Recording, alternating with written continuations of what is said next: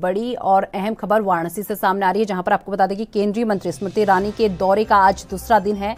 आज रामसीपुर आंगनबाड़ी केंद्र का अवलोकन करेंगी स्मृति ईरानी और पंडितपुर वेलनेस सेंटर का दौरा करेंगी स्मृति ईरानी। इसी के साथ दोपहर दो बजे प्रेस कॉन्फ्रेंस भी उनके द्वारा की जाएगी। केंद्र सरकार के आठ साल की योजनाओं को लेकर करेंगे प्रेस कॉन्फ्रेंस। साढ़े बजे विभिन्न योजनाओं के लाभार्थियों से संवाद करेंगी। शाम छह बजे वाराणसी से दिल्ली रवाना होंगे स्मृति ईरानी। तो ये बड़ी और अहम जानकारी वाराणसी से सामने आ रही है, जहाँ पर केंद्रीय मंत्री स्मृति ईरानी के दौरे का आज जो है दूसरा दिन है। आज रामसीपुर आंगनबाड़ी केंद्र का अवलोकन स्मृति ईरानी द्वारा किया जाएगा। आपको बता दें कि पंडितपुर वेलनेस सेंटर का दौरा भी स्मृति ईरानी द्वारा किया जाएगा।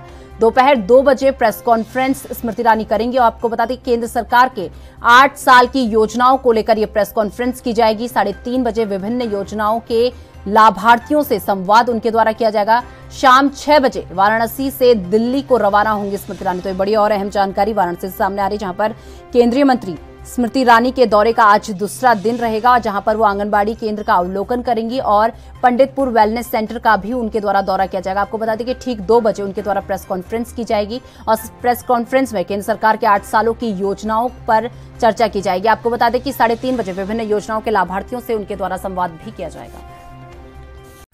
साल के तीन सौ पैंसठ दिन 24 घंटे और सातों दिन। हर हालात, वाकयात की, हर खबर की, हर दस्तक को देखने के लिए। एएनबी न्यूज़ के यूट्यूब चैनल को करें सब्सक्राइब और फेसबुक पेज को करें फॉलो उठाइए रिमोट और जुड़िए एएनबी न्यूज़ के साथ। टाटा स्काई चैनल नंबर 1927 और एयरटेल चैनल नंबर 356 पर। अब ANB news Jio TV mobi app Airtel Xstream OTT Instagram Twitter Google Play और एप स्टोर पर भी अवेलेबल है। एएनबी न्यूज़ आपकी बुलंद आवाज़, आपकी बात।